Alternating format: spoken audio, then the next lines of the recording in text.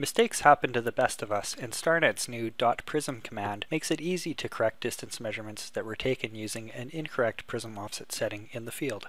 The .prism command lets you specify an offset value in millimeters, and that value will be scaled to your distance unit and added to all of the distances that follow. For example, .prism 30 will add 30 millimeters, or .prism minus 30 will subtract 30 millimeters.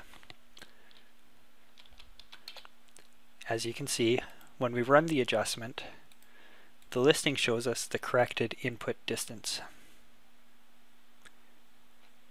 For example, 146.08 with 30 millimeters added to it becomes 146.1784 US survey feet.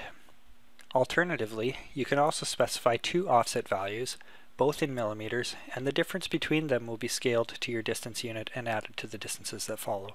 This lets you enter the correct prism offset setting that should have been used, as well as the incorrect prism offset setting that actually was used. For example, dot prism 30 space 17.5 will add 12.5 millimeters to your distances to make up for using a 30 millimeter offset prism with a 17.5 millimeter prism offset setting.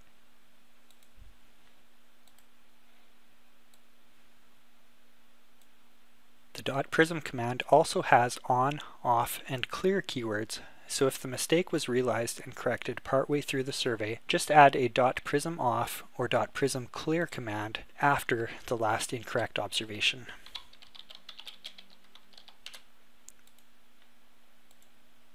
Now when we run it, these measurements up until the prism clear are affected and here we see they revert back to the original input distances with no correction applied.